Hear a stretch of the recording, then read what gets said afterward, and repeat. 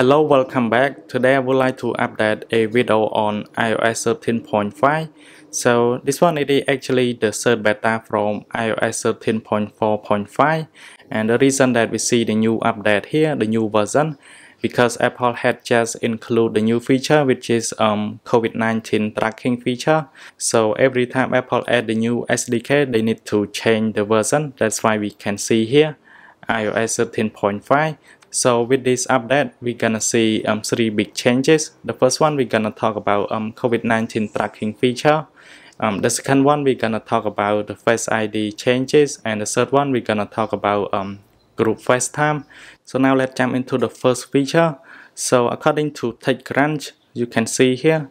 Um, so they said that um, this update includes an add ability for health authorities to define and calculate an exposed um, risk level for individuals based on their own criteria. So as that vary organization to organization. So this will be um, variable based on approximate um, distance of an individual to confirm exposed COVID-19 patient as well as the duration of that exposure. So developers can customize notification messaging based on their defined exposure level to ensure alerts correspond correctly to calculate risk.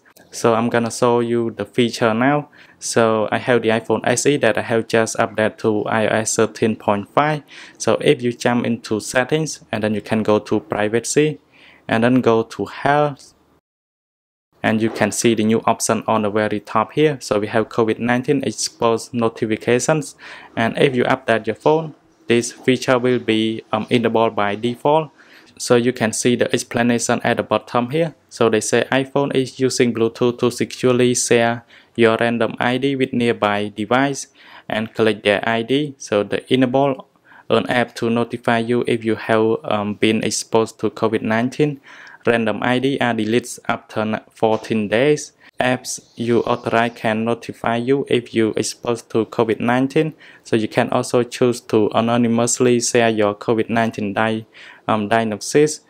And for me, I recommend you to enable this option. For this option, your information will be secure and preserved. And as you can see, they say here, the tech is designed to be privacy um, preserving, ensuring that context ID are rotating and randomized and never be tied to an individual specific identifying information. So it is very um, secure. And one more thing, we're gonna talk about Face ID. So for Face ID, usually with um, the previous version, when you um, unlock your phone while you are wearing mask, it gonna delay. So you can see from here and when I want to unlock my phone when my uh, with my mask on it gonna delay. So with the update of iOS 13.5 um, it gonna um, cut that delay. So you gonna um, jump straight away to the passcode when you're wearing the mask. So it is very awesome. It is uh, much more convenient. So with the last feature of iOS 13.5 we're gonna talk about group FaceTime.